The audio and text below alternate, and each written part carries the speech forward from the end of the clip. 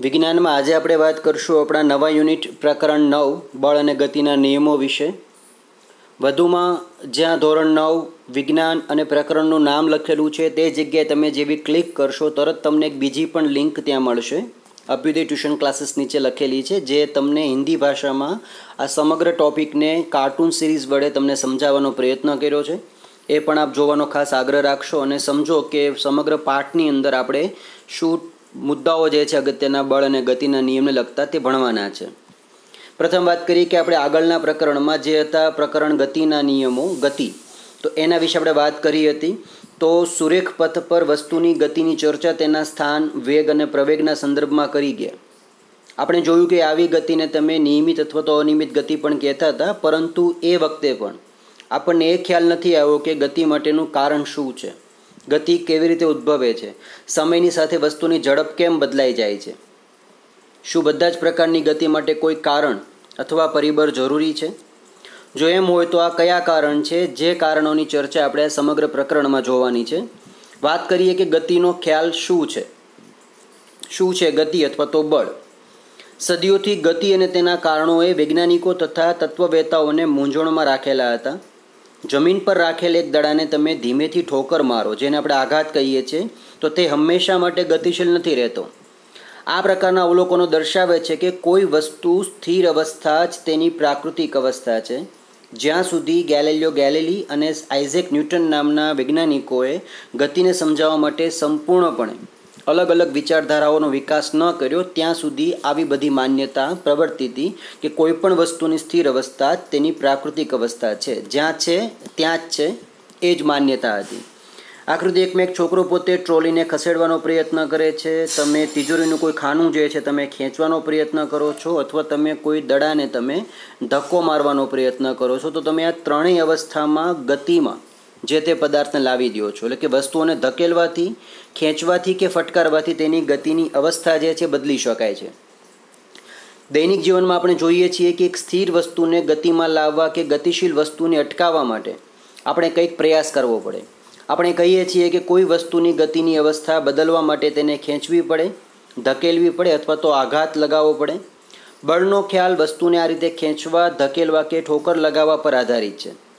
હવે આપણે બળના વિષયમાં વિચાર કરીએ તો શું છે બળ? વાસ્તવમાં બળને કોઈએ જોયું નથી, ચકાસ્યું નથી કે અનુભવ્યું નથી. તેમ છતાં, આપણે બળનો પ્રભાવ જોઈ શકીએ છીએ, અનુભવી શકીએ છીએ કે જ્યારે કોઈ વસ્તુ પર બળ લગાવવામાં આવે ત્યારે શું થાય. તો તેના વર્ણન પરથી તમે તેનો અંદાજો લગાવી શકો છો કે વસ્તુને ખેંચવી, ધકેલવી કે આઘાત લગાવો, આ બધી પ્રક્રિયાઓ વસ્તુને ગતિમાં લાવવાની પ્રયુક્તિઓ છે. આપણા દ્વારા તેની પર બળ લગાવવાના કારણે તે વસ્તુ ગતિમાં આવે છે. ઉદાહરણ તરીકે તમે આ સ્પ્રિંગ જુઓ તો આ સ્પ્રિંગ જે છે ગતિમાં નથી, પણ તમે જેવી તેને ખેંચશો બંને તરફથી, તો પોતે ગતિમાં આવે છે, તમે જેવી તેને છોડી દેશો, તો સ્પ્રિંગ જે છે છટકે છે, વાગવાની પણ સંભાવના વધી જાય છે. બીજું કે દડો જે છે, જે દડાનો આકાર અત્યારે ગોળ દેખાય છે, પણ તમે બંને તરફથી બળ જેવું આપ્યું, તો દડાનો આકાર પરિવર્તિત થઈ ગયો, તો બળ લગાવવાથી જે તે વસ્તુના આકારમાં, સ્થાનમાં, કદમાં ભૌતિક ફેરફાર થાય છે.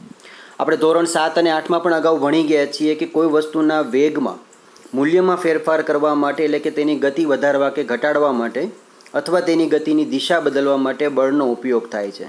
આપણે એ પણ જાણીએ છીએ કે બળ દ્વારા વસ્તુના આકાર અને પરિમાણમાં ફેરફાર કરી શકાય છે. ભટકાડવાથી, અફડાવાથી, ખેંચવાથી, તોડવાથી દબાણ આપવાથી તેના આકારમાં પરિવર્તન થાય છે. એ આપણે જોઈ ગયા છીએ. તો આ બળ તમે લગાવો છો ત્યાં બે પ્રકારે. એક બળને કહેવામાં આવે છે સંતુલિત બળ અને બીજા બળને કહેવામાં આવે છે અસંતુલિત બળ. સંતુલિત બળ એટલે કે બંને તરફથી સમાન સમાન બળ લાગતું હોય. એને કહેવામાં આવે છે સંતુલિત બળ. અને અસંતુલિત બળમાં કોઈ એક દિશા બાજુથી, કોઈ એક ભાગથી બળ જેનું, બળ જે છે તેનું પ્રમાણ વધારે હોય અને બીજી તરફ બળનું પ્રમાણ ખૂબ ઓછું આપવામાં આવે જેને કહેવામાં આવે છે અસંતુલિત બળ. સાદા શબ્દોમાં કહીએ તો અસંતુલિત બળ એટલે કે જે બળ સંતુલિત નથી તેને કહેવામાં આવે છે અસંતુલિત બળ.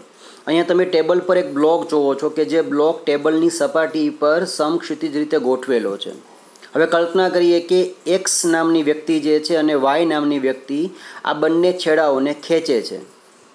સ્વાભાવિક છે કે વાય નામની વ્યક્તિ જો બળ લગાવીને પોતાની તરફ આ બ્લોકને ખેંચવાનો પ્રયત્ન કરે, તો આ બ્લોક જે છે પોતાના સ્થાનથી ડાબી તરફ ખસશે. જ્યારે એક્સ નામની વ્યક્તિ પોતે બળ લગાવે તો બ્લોક જે છે એ જમણી બાજુ ખસે છે. હવે સેજ એવી કલ્પના કરીએ કે જેમાં બંને વ્યક્તિ એક્સ અને વાય નામની બંને વ્યક્તિ પોતે સમાન બળ લગાવે, એક સરખું જ બળ લગાવે, તો બ્લોક જે છે લાકડાનો તે ત્યાં ને ત્યાં રહેશે. એ આગળ કે પાછળ ખસતો નથી, જેને કહેવામાં આવે છે સંતુલિત બળ. હવે થોડીક એવી કલ્પનાને આપણે વધારી દઈએ કે જ્યાં વાય નામની વ્યક્તિ જે છે એ હાથી જેટલી શક્તિશાળી છે અને અહીંયા એક્સ નામની વ્યક્તિ જે છે, એ કીડી જેટલી શક્તિશાળી છે. તો જ્યારે હાથી પોતે સેજ પણ બળ લગાવશે, તો આ બ્લોક જે છે, એ તાત્કાલિક પોતાની તરફ ખેંચી જશે. તો આ બળને કહેવામાં આવે છે અસંતુલિત બળ. શાળાની અંદર આપણે દોડા, ખેતી, રમત રમીએ છીએ, તો તેમાં પણ તમે આ જ પ્રકારે કામ કરો છો. જો બંને ટુકડીઓમાં સમાન બળ લાગતું હોય તો સંતુલિત બળ છે, પણ જ્યારે એક ટુકડી વિજેતા બને છે, તો તેનો અર્થ એવો થાય છે કે કોઈક જગ્યાએથી બળનું પ્રમાણ જે છે વધઘટ થયું છે, એટલા માટે તે સંતુલિત બળમાં આવી ગયું છે. તો બ્લોક પરથી તમે એવું કહી શકો છો કે સંતુલિત બળ જે છે, બ્લોકને ગતિમાં લાવી દે છે. જ્યારે કેટલાક બાળકો એક એક બોક્સને ખરબચડી સપાટી પર ઘસવાનો અહીંયા પ્રયત્ન કરે. તમે જોઈ શકો છો આકૃતિમાં કે બાળકો જે છે બ્લોકને ખરબચડી સપાટી પર ઘસવાનો પ્રયત્ન કરે. તો ખરબચડી સપાટી જે છે એ જ્યારે તમે એને ધક્કો મારશો તો સ્વાભાવિક છે કે તેની અંદર એક ઘર્ષણ બળ લાગશે કે જે વિરુદ્ધ સપાટી પર લાગતું એક આકર્ષણ બળ છે. ઘર્ષણ બળના ફાયદા અને ગેરફાયદા આપણે ધોરણ સાત અને આઠમાં ભણી ગયા છીએ. તો તેના કારણે થાય છે એવું કે બ્લોક જે છે જ્યારે વિદ્યાર્થીઓ ધક્કો મારે છે. કે જે સપાટી ખરબચડી છે, તો બ્લોક જે છે એ શરૂ શરૂમાં પોતાના સ્થાનથી નથી ખસતો. કારણ કે સપાટી જે છે એ તેને તેની વિરુદ્ધ દિશામાં બળ લગાવશે ના લોકો બ્લોકને બળ લગાવે છે. જ્યારે બળનું પ્રમાણ વધારવામાં આવે ત્યારે બ્લોક જે છે એ પોતે પોતાના મૂળ સ્થાનથી ખસીને આગળની તરફ પોતે ગતિ કરે છે. તો અહીંયા વાત જે થાય છે કે જો તમે ઓછા બળથી બોક્સને ખસેડવાનો પ્રયત્ન કરો, તો બોક્સ ખસતું નથી, કારણ કે ઘર્ષણ બળ ધક્કાની વિરુદ્ધ દિશામાં લાગી રહ્યું છે. આ ઘર્ષણ બળ બે સંપર્ક સપાટીઓ વચ્ચે ઉદ્ભવે. આ કિસ્સામાં બોક્સના તળિયા અને રફ સપાટી વચ્ચે જે બોક્સને ધકેલવા માટે લગાડેલ બળને સંતુલિત કરે છે, તેથી બોક્સ જે છે ગતિમાં નથી આવતું.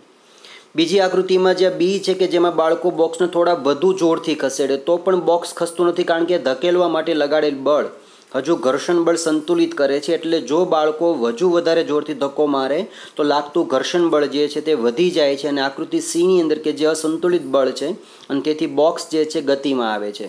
આપણે ક્યારેક તો આપણી જિંદગીની અંદર ભણતા હતા ત્યારે અથવા તો આગળના કોઈ પણ સમયગાળામાં, હાલના તબક્કે બસને અથવા તો કોઈ બીજા વાહનને ધક્કો મારવાનો પ્રયત્ન કર્યો છે. ક્યાં કોઈ ઘરમાં કોઈ નાની મોટી વસ્તુને જે છે પોતાના મૂળ સ્થાનથી બીજા સ્થાને ખસેડવાનો પ્રયત્ન કર્યો છે, તો આપણને તેમાં ખ્યાલ હશે કે તમે જે બળ લગાવો છો એ બળ જે સપાટી પર જે વસ્તુ પડી છે, તે સપાટી પરની વસ્તુ અને બળ આ બંને પરસ્પર વિરુદ્ધ દિશામાં ઘર્ષણ બળના કારણે આવી જાય અને તેના કારણે તમારે બહુ વધુ બળમાં અથવા તો ઓછા બળમાં જે તે કાર્ય કરવું પડતું હોય છે. ખુરશી તમારી પાસે રોલિંગ ચેર હોય કે પછી સાદી ખુરશી છે તો તમે તેના પર બેસી ગયા તમે તેને ખેંચવાનો કે આગળ પાછળ કરવાનો પ્રયત્ન કરો, તો ત્યાં પણ આ પ્રકારનું બળ લાગે છે.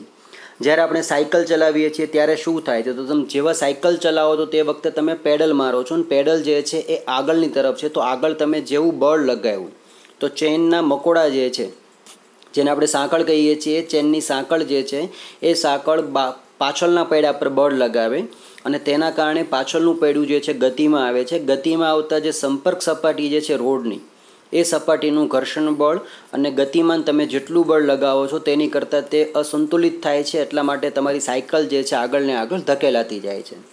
જ્યારે આપણે પેડલ મારવાનું બંધ કરી દઈએ ત્યારે સાયકલની ગતિ ધીમી પડી જાય.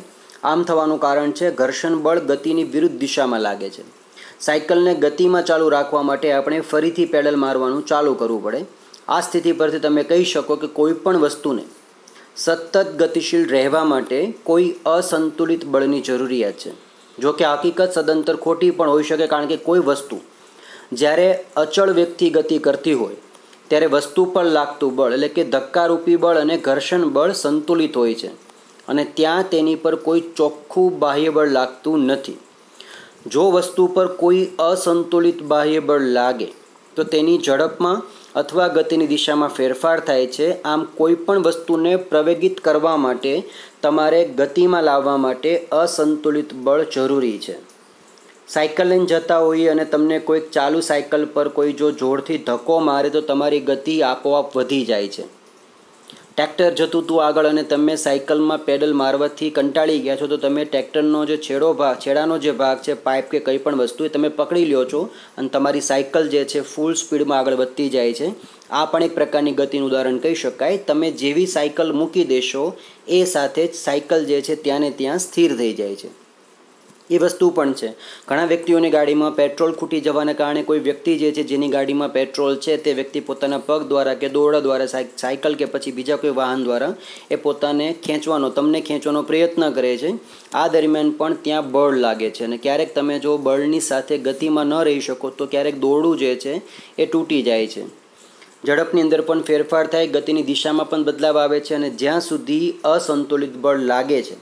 ત્યાં સુધી ફેરફાર થતો રહેશે અને જ્યારે આ બળ સંપૂર્ણપણે દૂર કરવામાં આવે ત્યારે વસ્તુ ત્યાં સુધીમાં તેણે પ્રાપ્ત કરેલા વેગથી ગતિ ચાલુ રાખશે. અટકાવી દેશો તો તે અટકી જશે. સાદી સરળ ભાષામાં કહીએ તો તમે સાયકલ લઈને જતા હતા અને જેટલા તમે પેડલ માર્યા, પછી તમે અમુક સો પેડલ પછી પેડલ મારવાનું બંધ કરી દીધું છે, તો સાયકલ તમારી ત્યાં સુધી જ ચાલશે કે જ્યાં સુધી તે ગતિમાં હતી. અને જેવી તમારી શાળા કે તમારું ઘર આવી જાય, તરત સાયકલ જે છે એ પોતે ધીમે ધીમે પછી એક સમયે બંધ થઈ જશે. તો અહીંયા જે વેગ પ્રાપ્ત કર્યો છે તે વેગથી ગતિ ચાલુ રાખશે, પણ જેવું ઘર્ષણ બળનું મૂલ્ય તમે લગાવેલ બળ કરતાં વધી જશે, ત્યારે સાયકલ જે છે પોતે પોતાના સ્થાન ઉપર સ્થિર થઈ જશે. તો આખી વિગતો જે છે તમને આજના વિડીયોમાં ટ્યુટોરિયલ વીડિયો જે છે અંગ્રેજીની હિન્દી ભાષાની અંદર, એમાં પણ તમને સમજાવેલું છે, તો તમે તેને સમજવાનો પ્રયત્ન કરશો. અને સમગ્ર વિડીયોની અંદર આજે આપને કોઈ પણ શબ્દ જો આજના વિડીયોમાં ખ્યાલ ન આવ્યા હોય, તો આપ ચોક્કસ મને વોટ્સએપ કે કોમેન્ટ કરી દેશો.